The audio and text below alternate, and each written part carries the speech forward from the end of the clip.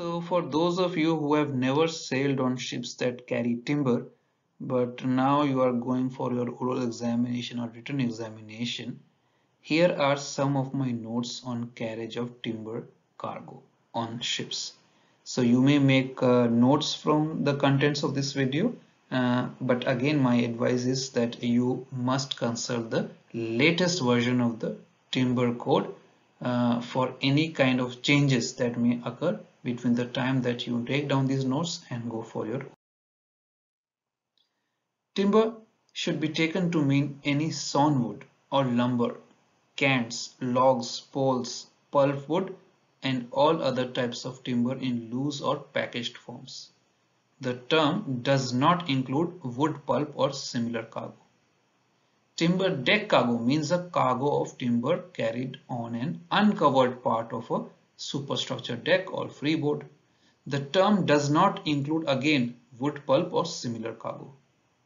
Timber lashings include all lashings and securing components which possess a breaking strength of not less than 133 kilonewtons.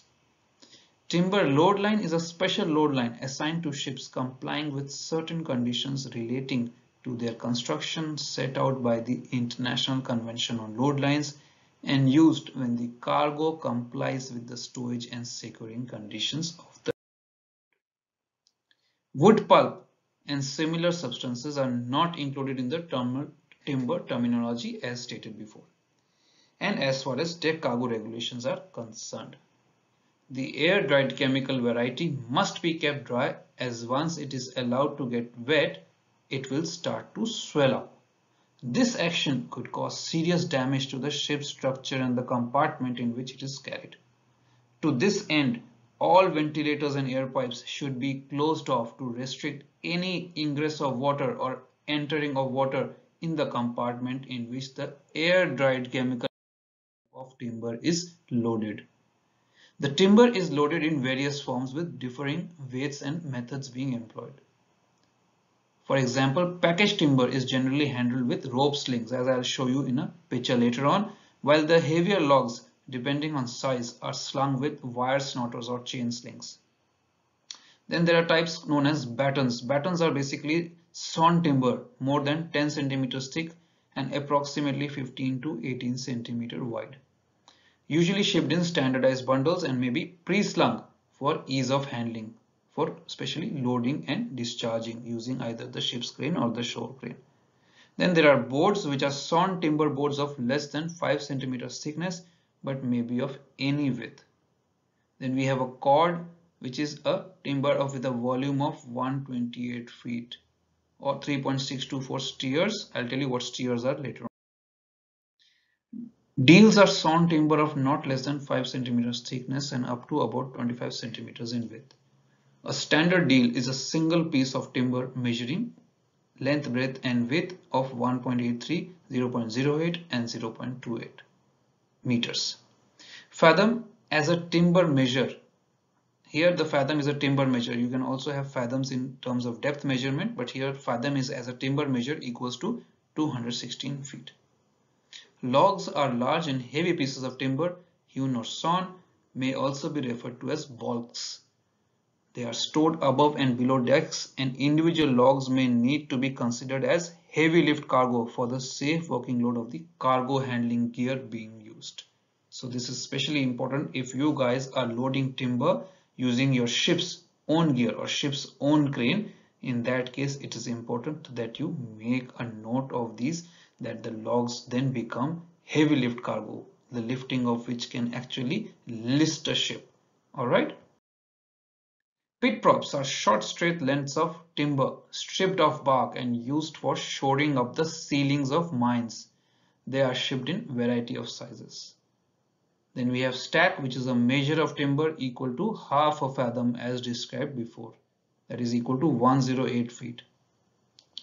Then there is a metric unit of timber that I discussed earlier that is known as a stere and is equal to 1 meter cube or 35.314 feet. Timber is generally shipped as logs, pit props or sawn packaged timber.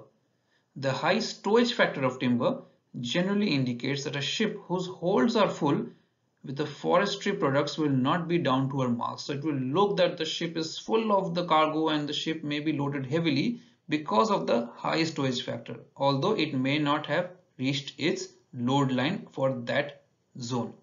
For this reason, an additional heavy cargo like iron ore or bulk ore is often loaded alongside the timber cargo. Or the more common method is to split the timber cargo to positions both below and above decks. So they are loaded both below and above decks. However, where timber forms part of the deck loading, some thought has to be given to route planning to provide a good weather. By good weather, we mean a route free of rain if possible. So prudent selection of a correct route could avoid prevailing bad weather and unnecessary concerns with the cargo absorbing high seawater. As the cargo starts to absorb high seawater, what happens? The cargo starts to become heavier. The overall center, center of gravity of the ship gets affected and again the overall GM also gets affected with a reduced positive stability. So all the complications are linked. Now you have to start thinking like that as you start preparing for examinations all right so what happens if the cargo on the deck start to become heavier? What happens if the cargo below deck start to become heavier? How does the center of gravity shift overall center of gravity of the vessel shifts? All right now regulations for the stowage of timber emphasizes that timber deck cargoes should be compactly stored should be stored tightly and secured by a series of overall lashings of adequate strength where uprights are envisaged as part of the securing these uprights, which are vertical stanchions, should not be more than 3 meters apart. The maximum height of the timber stored above the uppermost deck must not exceed one third of the ship's breadth when the vessel is navigating inside a seasonal winter zone. I'll show you some of the examples of the lashings that are used in timber deck cargo uh, very soon. So additional regulations apply if and when timber load lines are being used. That is when the vessel is being loaded beyond the appropriate normal marks. These regulations take account of timber being stored solidly in wells at least to the height of the forecastle deck. If there is no superstructure on your ship at the after end of the vessel, the timber must be stored to at least the height of the forecastle deck. This stow must extend to at least the after end of the aftmost hatchway a further consideration is that securing lashings should not be less than 19 mm close link chain or flexible wire rope of equal strength. These lashings shall be independent of each other and spaced not more than 3 meters apart. Such lashings will be fitted with slip hooks and stretching screws that must be accessible at all times. Make a note that wire rope lashings must be fitted with a short length of long link chain to permit the length to be adjusted as well as regulation.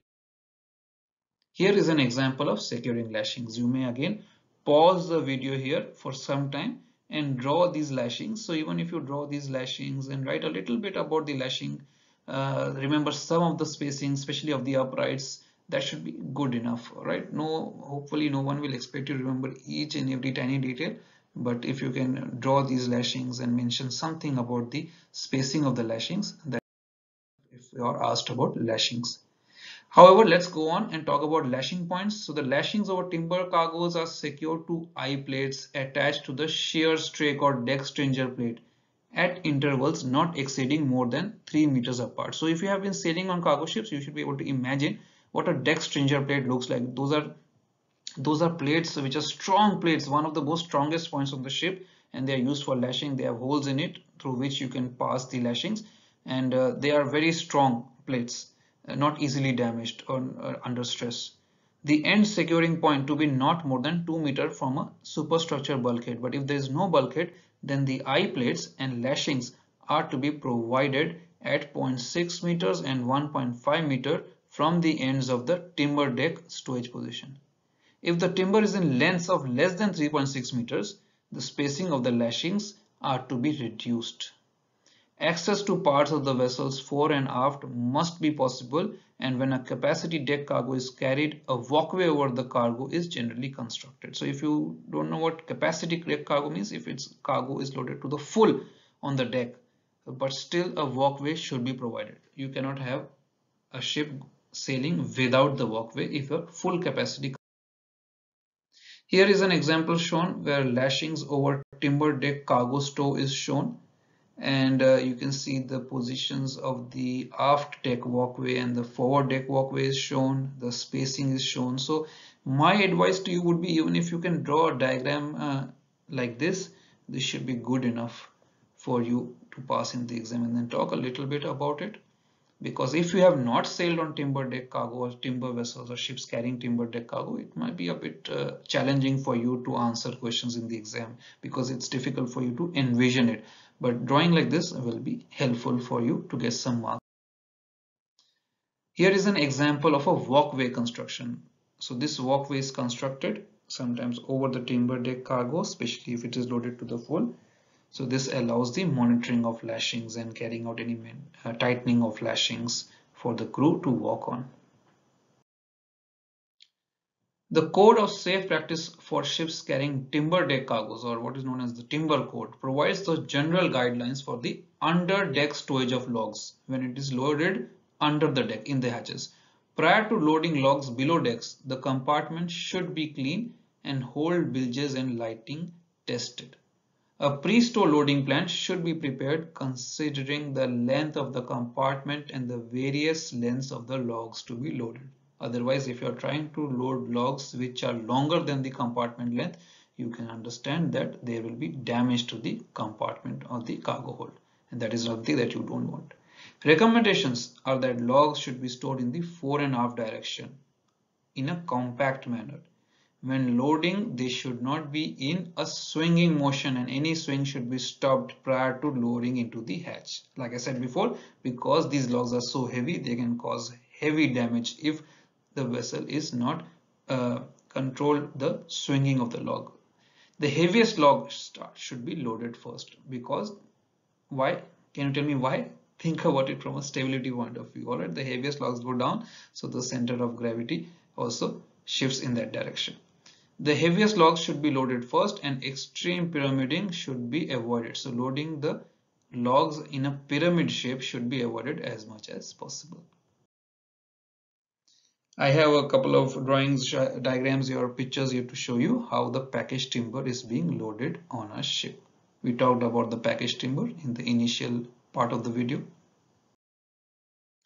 Packed timber will usually be banded and may be pre-slung. Alright. Packages may not have standard dimensions and may have different lengths within the package, making compact storage very difficult. Uneven packages should not be loaded on deck and are preferred to be loaded below deck. Where deck storage is made, the packages should be stored in the fore and aft lengthwise position. Again, here is a picture of showing the storage and working of timber cargoes. This is under deck storage being shown. If void spaces exist at the fore and aft ends of the log stores, these may be filled with athwartship stored logs as I showed you in the picture before. That was I think athwartship stored logs. Logs are loaded in between hatch coaming areas should be stored as compact as possible to maximum capacity of the coaming space. Logs are heavy and oscillations can expect to cause ship damage. Personnel are advised to maintain a careful watch during the loading and discharging periods.